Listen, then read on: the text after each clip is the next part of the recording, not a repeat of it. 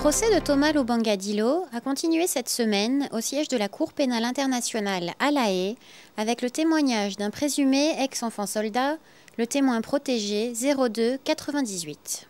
Son témoignage avait commencé le 28 janvier dernier, mais avait été suspendu et a repris cette semaine. La chambre préliminaire, composée du juge président M. Adrian Fulford, Madame la juge Elisabeth Audio Benito et Monsieur le juge René Blattman, a ordonné de nouvelles mesures de protection de ce témoin. Sa voix et son image ont été brouillées.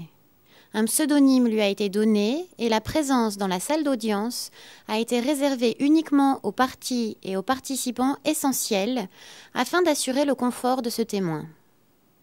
L'accusé n'est entré dans la salle qu'après que le témoin ait été installé en face des juges, derrière un rideau qui le sépare de la vue de l'accusation et de la défense. Il a été autorisé à déposer son témoignage sans que l'accusation ne pose de questions, ce qui n'est pas la pratique habituelle, et sans interruption de la part des autres parties et participants. Le présumé ex-enfant soldat a raconté à la Cour qu'il avait approximativement 11 ans quand il a été enlevé avec cinq de ses amis en rentrant de l'école. Il a été dit qu'il a été emmené au camp militaire de Boulay, dirigé par l'UPC, pour être entraîné, puis renvoyé au camp de Largo. Il a donné ensuite une description des conditions de vie et du traitement qu'il a subi durant son entraînement. Et dans ce cas, trois personnes pouvaient vous battre pour avoir perdu cette arme. Et si vous criez pendant qu'on vous bat, et là, on vous bat davantage. Et d'autres personnes venaient, on vous faisait du blocage, on vous prenait les, les, les bras et on vous mettait des menottes. Et de cette façon, on pouvait vous battre très bien. Il y avait trop de souffrance à la formation militaire. Et si quelqu'un tentait de s'enfuir, il était battu ou on le tuait. Et effectivement, j'ai vu des gens qui se faisaient battre et qui se faisaient tirer dessus pour avoir tenté de s'enfuir. J'en ai été témoin.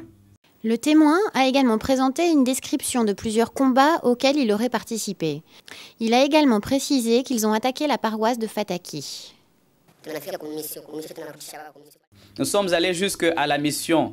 Et à la mission, on avait tué euh, ceux qui euh, étaient là et même les prêtres qui lisaient la messe, ils ont été tués.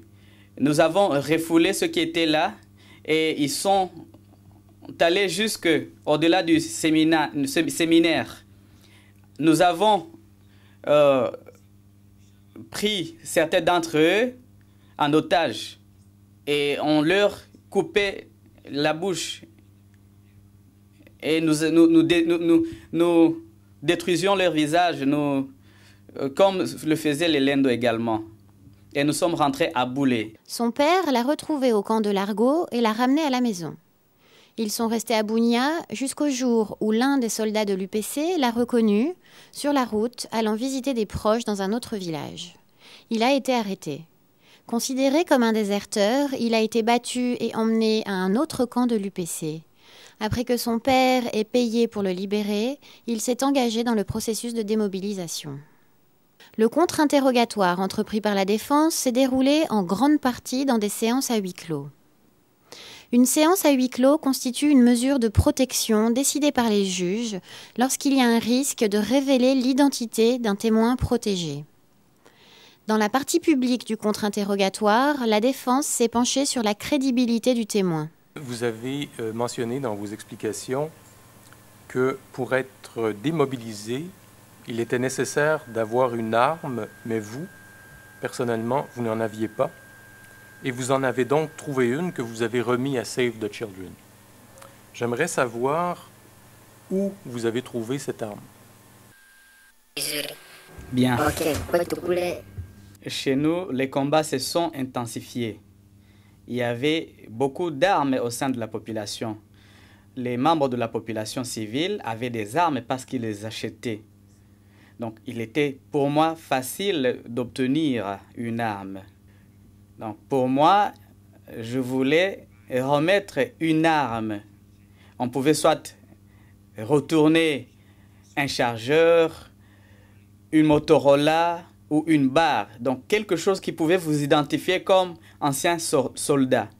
Maître Luc Vallein, représentant légal des victimes ainsi que de ce témoin en particulier, puisque celui-ci a le double statut de témoin et de victime, l'a interrogé à propos des conséquences dont il souffrerait encore en raison du temps passé dans les rangs des militaires. Je souffre de problèmes de vision.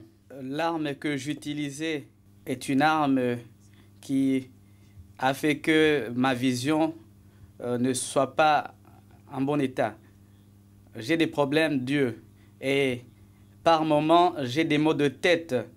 Par moments je souffre dans mes oreilles et en plus je reste ignorant. Le deuxième témoin de la semaine, le numéro 41, a également témoigné avec des mesures de protection. La Chambre a permis au bureau du procureur de poser des questions relatives à la structure et au financement de l'UPC, qui ne sont pas directement liées aux charges alléguées.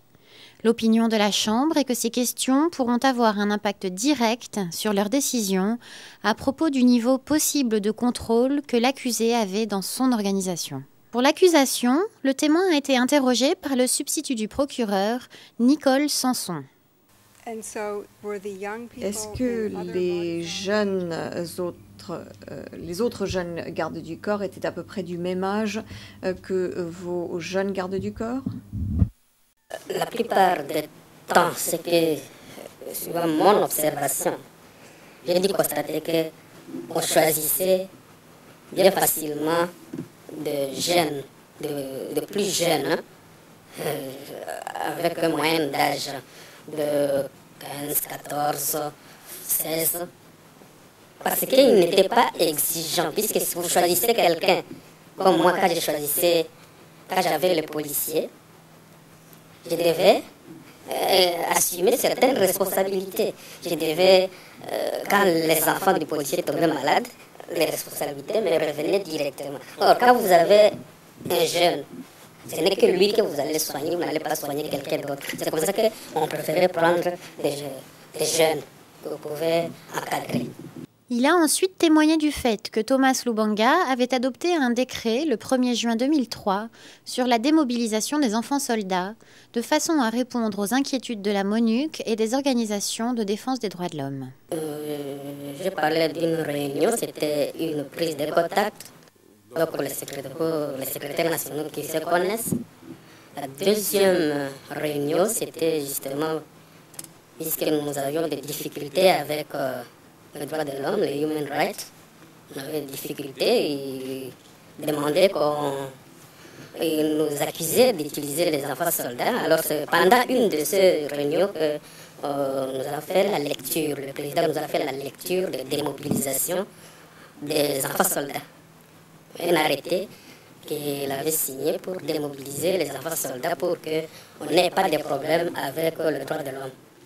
Au cours du contre-interrogatoire, la défense s'est penchée sur la question de la mauvaise gestion des fonds de l'UPC et du niveau de contrôle qu'en avait l'accusé, sur la structure de l'UPC en tant que structure multiethnique au niveau du commandement, sur la large distribution des décrets de démobilisation et sur l'expérience personnelle du témoin avec les enfants soldats faisant partie de ses gardes. Pour la défense, le témoin a été contre-interrogé par maître Jean-Marie Bijoux Duval. Pendant cette période, de plus de deux mois, au cours de laquelle vous avez été escorté, vous avez eu un garde du corps armé qui peut-être avait 14 ans. Avez-vous eu le sentiment de commettre un crime? L'idée ne m'était même pas venue. L'idée ne m'était même pas venue, disais-je. Comment se fait-il que l'idée ne vous était pas venue? Au départ, comme je l'ai indiqué hier, c'était un enfant dont je connaissais la famille. J'ai récupéré l'enfant pour pouvoir par la suite le réinscrire à l'institution où l'étudier. C'est parce que ce que je l'ai dit hier. J'avais l'intention de le réinscrire. Je connaissais ses parents, du moins sa mère. Et ses parents étaient d'accord pour qu'il euh, porte une arme comme garde du corps? Militaire? Je pense que euh, le moment où l'enfant était déjà parti à la formation, les parents savaient qu'il était en formation. Euh, quand on est en formation, on est tenu à porter des armes. Le procès va continuer lundi avec le prochain témoin cité par l'accusation.